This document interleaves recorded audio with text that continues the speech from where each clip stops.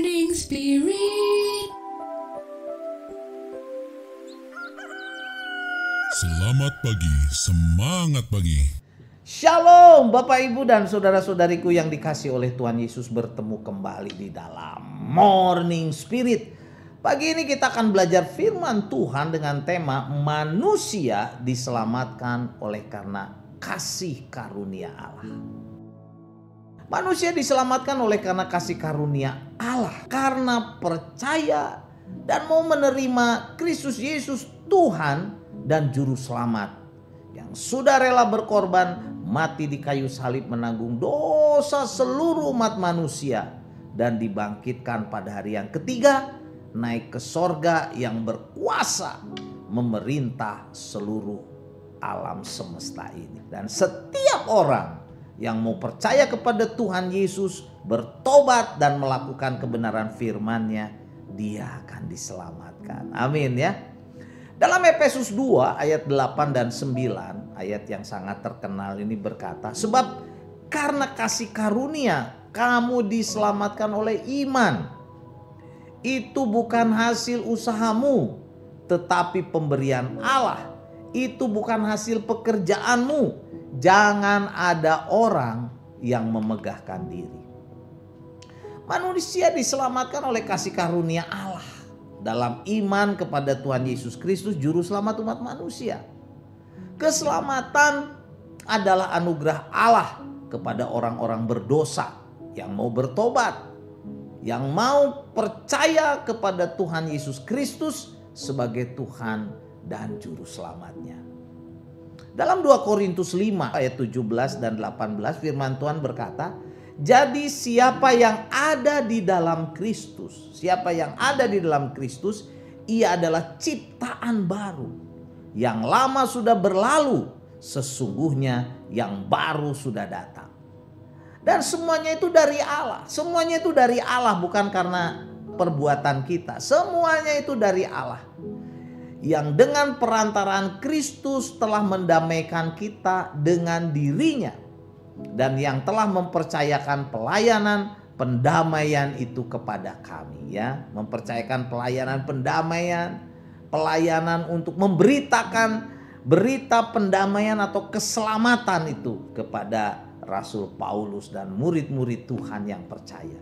Semua proses keselamatan adalah perbuatan Allah sendiri bukan karena perbuatan kita bukan karena usaha manusia atau bukan karena amal ibadah manusia, bukan saudaraku. Semua adalah kasih karunia dari Allah, perbuatan Allah sendiri.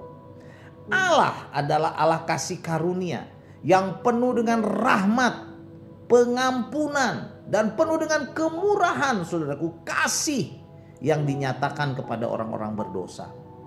Bukan karena orang berdosa itu layak, bukan saudaraku tetapi karena Allah mengasihi manusia yang berdosa. Manusia yang najis itu dikasih Allah. Allah tidak mengingini seorang pun mati dalam kekekalan di neraka. Roma 5 ayat 8 berkata, akan tetapi Allah menunjukkan kasihnya, kasihnya kepada kita oleh karena Kristus telah mati untuk kita, mati di kayu salib untuk kita ketika kita masih berdosa. Wow. Dan Yohanes 3 ayat 16 saudaraku ayat yang terkenal ini berkata, karena begitu besar kasih Allah akan dunia ini, akan dunia ini, akan kita orang-orang berdosa. Sehingga ia telah mengaruniakan anaknya yang tunggal. Supaya setiap orang yang percaya, setiap orang yang percaya atau yang bertobat kepadanya. Tidak binasa, melainkan beroleh hidup yang kekal. Puji Tuhan. Jadi saudaraku kasih karunia keselamatan adalah kemurahan hati Allah. Pengampunan dari Allah. Dia mengasihi kita. Ya, keinginan dan kuasa Allah yang diberikan kepada manusia yang berdosa melalui Tuhan Yesus Kristus, firman yang hidup. Allah yang menjadi manusia karena manusia tidak mungkin bisa taat untuk melakukan semua perintah Allah, tidak mungkin. Jadi manusia memperoleh keselamatan bukan karena usahanya sendiri. Bukan karena amal ibadahnya. Bukan saudaraku. Bukan. tetapi keselamatan adalah kasih karunia pemberian dari Allah dalam Kristus Yesus, Tuhan dan juru selamat umat manusia, juru selamat kita yang percaya. Nah, saudaraku, seperti biasa dari kebenaran firman Tuhan yang akan kita pelajari dari Efesus 2 ayat 1 sampai 9. Saya ingin membagikan tiga kebenaran. Bahwa manusia diselamatkan karena kasih karunia Allah dalam Kristus Yesus. Tuhan dan juru selamat umat manusia, juru selamat kita. Yang pertama, saudaraku, kita harus tahu kondisi semua manusia di dunia ini bagaimana. Adalah berdosa, mati secara rohani, berada di bawah kuasa iblis, diperbudak dosa, dan ada di bawah murka Allah. Ada di bawah murka Allah yang kalau tidak bertobat masuk neraka. Efesus 2 ayat 1 sampai 3 berkata, "Kamu dahulu sudah mati karena pelanggaran-pelanggaran dan dosa-dosamu. Kamu hidup di dalamnya karena kamu mengikuti jalan dunia ini. Karena kamu menaati penguasa kerajaan angkasa yaitu roh yang sekarang sedang bekerja. Maksudnya di sini adalah roh iblis saudaraku yang sekarang sedang bekerja di antara orang-orang durhaka, orang-orang berdosa. Sebenarnya dahulu kami semua juga terhitung di antara mereka. Ketika kami hidup di dalam hawa nafsu daging dan menuruti kehendak daging dan pikiran kami yang jahat. Pada dasarnya kami adalah orang-orang yang harus dimurkai sama seperti mereka yang lain. Itulah kondisi manusia, saudaraku, yang ditulis di dalam kitab Efesus pasal 2 ayat 1 sampai 3. Kondisi manusia berdosa mati secara rohani, berada di bawah kuasa iblis, diperbudak dosa dan manusia ada di bawah eh, murka Allah. Ya. Tetapi kebenaran yang kedua, saudaraku, manusia diselamatkan oleh kasih karunia Allah. Untuk diselamatkan, manusia harus menerima keselamatan yang disediakan Allah dalam Kristus Yesus. Puji Tuhan. Jadi inilah jalan keluarnya saudaraku supaya kita selamat dari hukuman neraka. Efesus 2 ayat 4 sampai 5 berkata, "Tetapi Allah yang kaya dengan rahmat oleh kasihnya yang besar yang dilimpahkannya kepada kita telah menghidupkan kita bersama-sama dengan Kristus." Sekalipun kita telah mati oleh kesalahan-kesalahan kita, oleh kasih karunia, kamu diselamatkan. Amin ya. Kita diselamatkan oleh kasih karunia. Jadi untuk memperoleh keselamatan manusia harus mau diselamatkan melalui keselamatan yang disediakan oleh Allah dalam siapa? Dalam Kristus Yesus Tuhan dan juru selamat umat manusia. Dia harus percaya, dia harus bertobat. Kemudian juga dia harus berjalan di dalam kebenaran firman Tuhan, di dalam ketaatan saudaraku. Dan orang-orang yang sungguh-sungguh percaya dengan kelihatan buah-buah kepercayaannya dia diselamatkan. Amin ya. Karena orang yang diselamatkan itu akan mengalami kehidupan baru. Dia menjadi ciptaan baru. Yang lama sudah berlalu, yang baru sudah datang. Karakter baru, sifat baru, kebaikan-kebaikan baru, kesabaran baru, sukacita baru. Oh, itu nyata di dalam orang-orang yang percaya.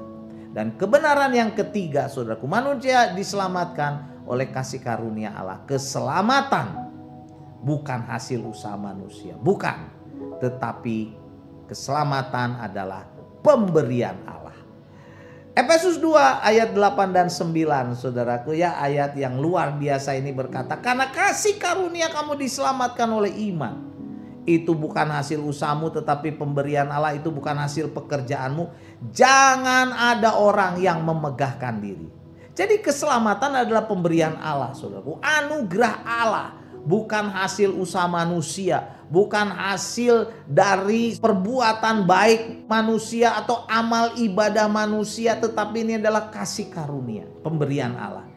Jadi siapa pun yang mau menerima kasih karunia itu, kasih karunia dari Allah oleh iman dalam Kristus Yesus, Tuhan dan juru selamat, maka ia akan diselamatkan. Ya, siapa pun yang melihat tayangan Morning Spirit ini merasa oh saya belum diselamatkan tapi saya ingin selamat, saya ingin masuk ke sorga. Buka hatimu, percayalah kepada Tuhan Yesus. Bertobat, tinggalkan dosa-dosa dan minta ampun kepada Tuhan Yesus, kemudian percaya dengan sungguh-sungguh dengan iman kita bahwa Tuhan Yesus adalah juru selamat kita yang menyelamatkan kita, yang mengampuni dosa kita, yang membebaskan kita dari hukuman kekal api neraka, Saudaraku, maka kita akan diselamatkan. Ya, kalau ada katakan, Tuhan Yesus, aku membuka hati menerima Tuhan Yesus sebagai Tuhan dan juru selamat pribadiku ampuni dosa-dosaku, aku mau bertobat dan aku mau hidup seturut firman Engkau yang ditulis di dalam Alkitab. Selamatkan aku, Tuhan Yesus, dalam nama Tuhan Yesus. Aku bertobat dan percaya kepada Engkau.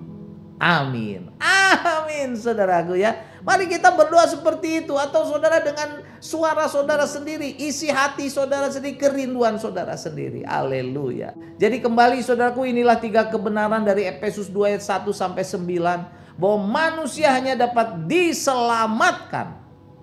Oleh kasih karunia Allah dalam Kristus Yesus Tuhan. Dan juru selamat umat manusia. Yang pertama kondisi manusia di dalam Efesus tadi pasal 2 ayat 1 sampai 3, manusia itu berdosa, jahat, mati secara rohani, tidak ada harapan, di bawah kuasa iblis, diperbudak dosa dan ada di bawah murka Allah.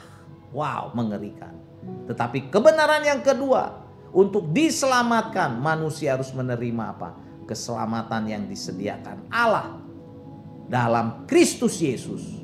Dan yang ketiga saudaraku, keselamatan itu bukan hasil usaha kita, tetapi itu adalah pemberian Allah bagi setiap orang yang mau percaya, mau menerima Tuhan Yesus sebagai Tuhan dan Juru Selamat pribadinya dan bertobat, dia diselamatkan. Amin ya. Efesus 2 ayat 8 dan 9 saya bacakan lagi. Sebab karena kasih karunia kamu diselamatkan oleh iman itu bukan hasil usahamu, tetapi pemberian Allah itu bukan hasil pekerjaanmu, Jangan ada orang yang memegahkan diri. Amin. Mari kita berdoa. Terima kasih Tuhan Allah yang sudah merelakan Yesus Kristus datang ke dunia. Mati di kayu salib menebus dosa-dosa kami. Dan dibangkitkan pada hari yang ketiga. Menjadi Tuhan dan Juru Selamat kami. Kami sungguh-sungguh mau menerima Engkau Tuhan Yesus sebagai Tuhan dan Juru Selamat dalam hidup dalam hati kami Ampuni dosa-dosa kami. Kami mau bertobat. Kami mau hidup yang baru di dalam Tuhan Yesus. Menjadi teladan, menjadi saksi, menjadi berkat dalam keluarga, dalam masyarakat, dalam gereja, di mana pun Tuhan tempatkan kami. Dalam nama Tuhan Yesus kami berdoa dan bersyukur. Amin. Amin Bapak Ibu dan saudara-saudariku yang dikasih oleh Tuhan Yesus. Sekali lagi kalau kita diberkati oleh Morning Spirit ini jangan lupa klik like, subscribe, bunyikan loncengnya supaya bisa mengikuti Morning Spirit ini terus dan kalau kita diberkati oleh Morning Spirit ini bagikan kepada banyak orang supaya banyak orang diberkati. Sampai bertemu dalam Morning Spirit selanjutnya. Morning Spirit. Selamat pagi, semangat pagi.